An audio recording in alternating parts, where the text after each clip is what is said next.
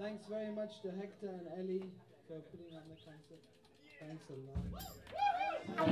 lot.